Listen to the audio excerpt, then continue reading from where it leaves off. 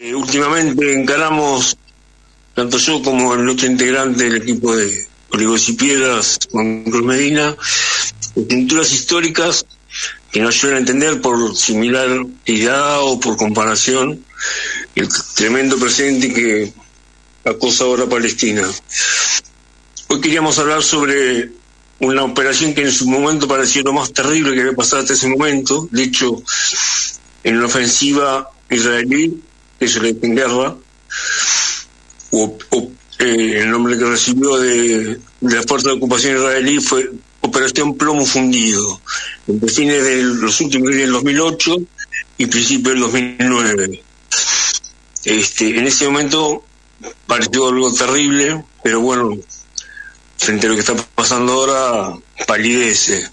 Sin embargo, nos va a traer bastante cosas para, para pensar. En principio, esto de los nombres, las fuerzas de Israel se llaman Fuerzas de Defensa de Israel. Una, el acrónimo es va de Hajana Le Israel, el nombre en hebreo es Zahal. De defensa no tiene nada, digamos. Fue, fueron creadas cuando los kibbutzim y otros eh, granjas de los ocupantes israelíes en la Palestina histórica se defendía frente a las rebeliones de los árabes porque estaban siendo ya antes de la creación de Israel despojados de sus tierras por estos hebreos y por su apoyo por la ocupación, el dominio británico.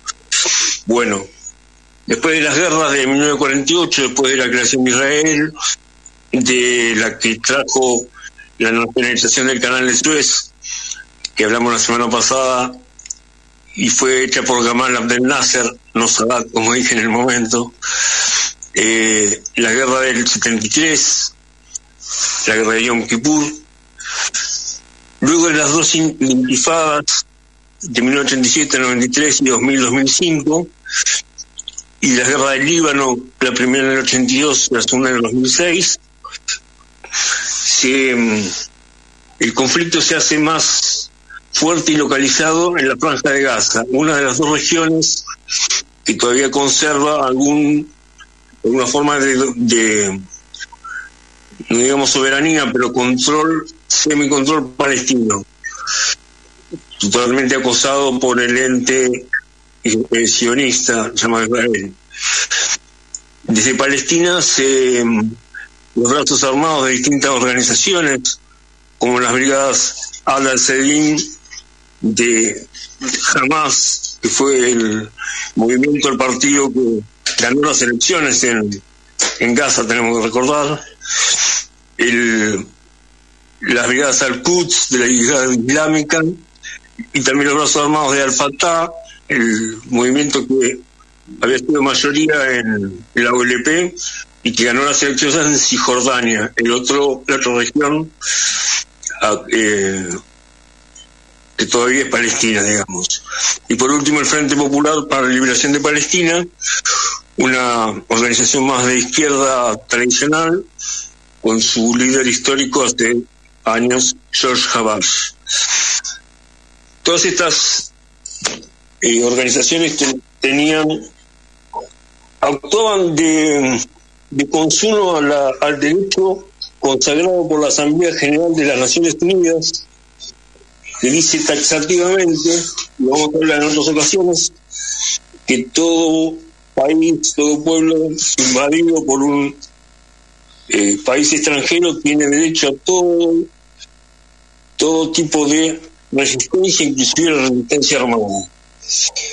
Eh, se contaban con centenares, a veces algunos años, los lanzamientos de cohetes, de misiles, misiles no, perdón, cohetes, no, cohetes eh, justamente se llamaban, muy primitivos, o disparos de mortero, contra poblaciones del sur de Israel. Eh, en 2006 se pues, eh, también se complicó la, la, cuestión con el eh, la, eh, el secuestro, o sea, la, la, toma de misionero del soldado Shirad Shalit, que lo mantuvo jamás en, en su poder.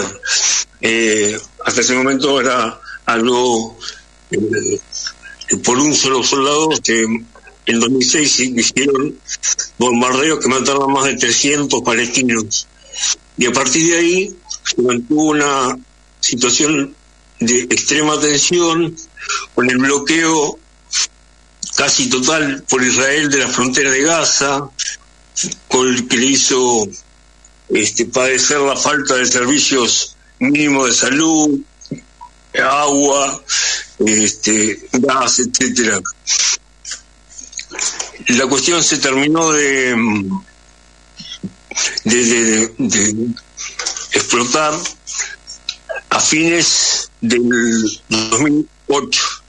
27 de diciembre del 2008 empieza un tremendo fuego de artillería contra toda la, la, zona más cercana de la franja de Gaza, que es una franquita muy estrecha, de la cual la ciudad de Gaza es la principal, y hay otras como em, la que ahora está siendo atacada, Rafah, en el extremo sur, y otras más en, un muy, muy, em, muy pequeño territorio. El 3 de enero de 2009, 10.000 soldados del ejército israelí invadieron Gaza. No se sabe con cuántos tanques de los muy modernos, propiamente israelíes, entraron con ellos porque no, como sucedió ahora, bloquearon los israelíes la, entrada de prensa y de, de medios, de organizaciones que no fueran este, propiamente seguidas por ellos. Y esta tremenda luego bombardeos y matanzas eh, por en, en semibatallas o escaramuzas en toda la franja de Gaza, en solo 22 días murieron 1.400 palestinos, entre ellos 300 niños, más de 115 mujeres, 85 hombres de mayores de 50. Y fueron destruidos más bienes palestinos y muertos más palestinos que en cualquier otra ofensiva israelí anterior. A eso me refería cuando en ese momento nos parecía algo terrible y fue una, un horror, hubo una gran levantamiento en las principales ciudades de Europa, sobre todo en Londres y París.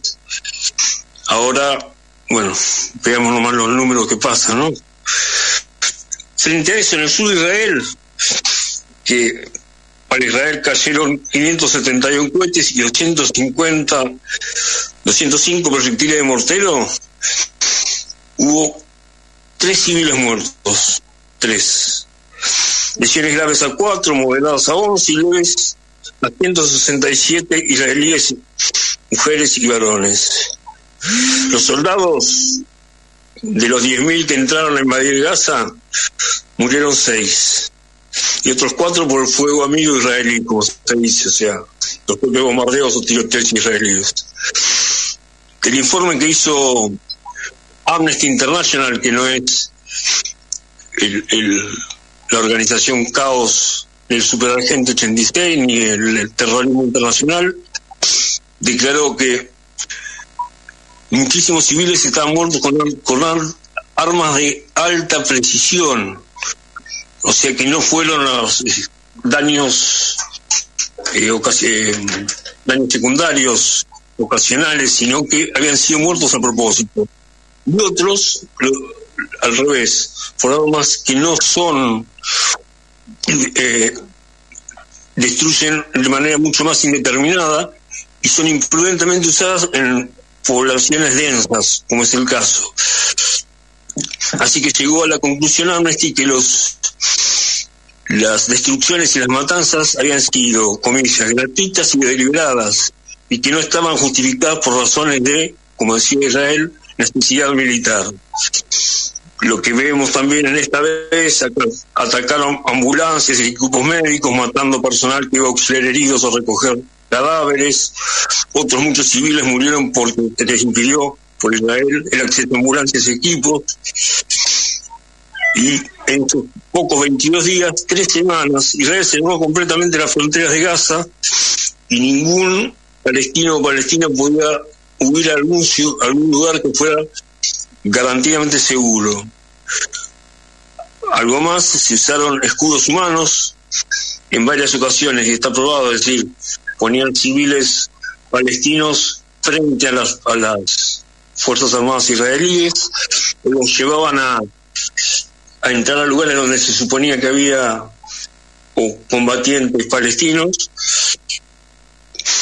y una cosa que fue en ese momento un, un horror, pero ya, ya hasta nos hemos acostumbrado, se usó la, las, bombas, las bombas de fósforo blanco para que están prohibidas como arma de guerra por tratados internacionales.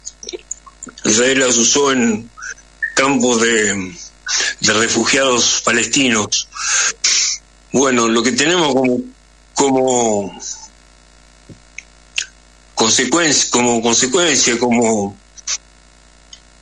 como algo que nos queda como eco de algo que ya hemos, estamos oyendo ahora, no podemos decir que esto haya sido una guerra. Guerrillas de las organizaciones políticas palestinas han hecho uso del legítimo derecho a la defensa este, como dije, consagrado por las Naciones Unidas. A cambio de eso, por lo que decía de las armas usadas, de la deliberada este, masividad de los desastres, mucho, mucho más mínimo que los de ahora, es por lo que se puede calificar sin ninguna animosidad como terrorismo la ofensiva de las fuerzas, parece irónico, de defensa de Israel. Esto nos deja alguna una atalaya como para ver y, y, justipreciar lo que está pasando ahora en la zona de Gaza por parte de estas fuerzas de defensa de Israel. No, Santiago.